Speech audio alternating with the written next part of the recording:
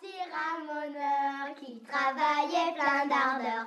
Allait de ville en village pour y trouver de l'ouvrage en criant V'là le ramoneur de cheminée, de cheminat, en criant V'là le ramoneur de cheminée de haut en bas. À la porte de la ville, un gros monsieur lui fait signe. Petit ramoneur habile dans la cheminée s'enfile en criant V'là les ramoneurs de cheminée, de cheminat, en criant V'là les ramoneurs de cheminée de haut en bas. Il se met à deux genoux pour mieux gagner ses dessous.